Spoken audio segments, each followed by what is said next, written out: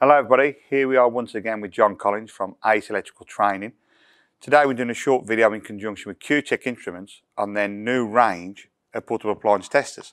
And today we're looking at the entry level, the EZYPAT, and checking out the case and this is what you're getting. So you've got your case moving across, you've got your two year warranty, which also includes your end-of-line calibration.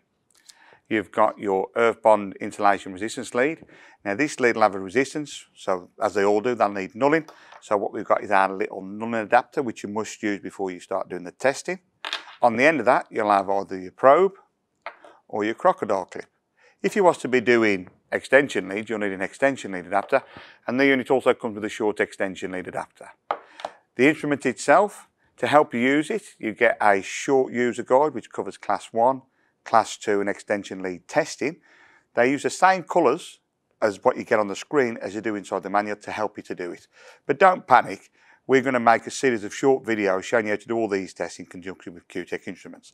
The, the tester itself, two rows, you've got your class 1, your class 2 and your extension lead buttons and as we mentioned earlier there's your null. If you come across instruments with electronic devices, you may want to use 250 volts instead of 500 volts. So this has the facility switch between the two. And as you can see, you've got a little backlight.